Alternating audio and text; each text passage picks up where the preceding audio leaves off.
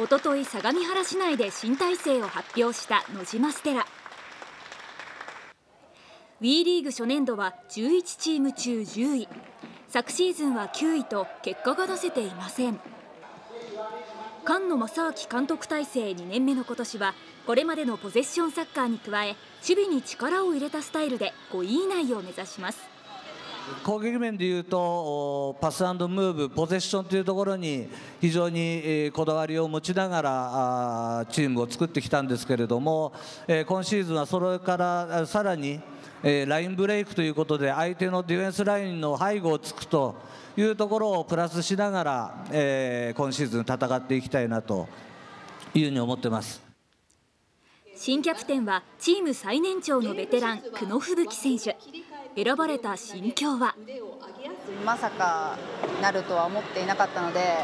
ちょっと受け入れるのには 時間がかかったというか何したらいいんだろうっていう気持ちはあったんですけどやっぱりみんなが強い気持ちを持って高い目標を持って戦ってリーグを勝っていけるようにそんなチームにしていきたいなと思っています。また今シーズンサンフレッチェ広島レジーナから3シーズンぶりに復帰した川島春奈選手や厚木市出身で WE リーグ初挑戦の菅野夏美選手など新加入の6人が意気込みを語りました。そして私はあの榊原選手声かけでこう守備の部分でも攻撃の部分でもこう中心になれたらいいなっていうふうには思っていて、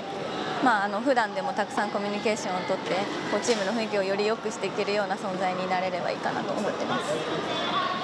パスをつないで相手を崩していくっていうサッカースタイルが好きなので長所の部分と野島ステラがやりたいサッカーを噛み合わせていってそれがチームの勝利に貢献できる形になればいいなって思っています。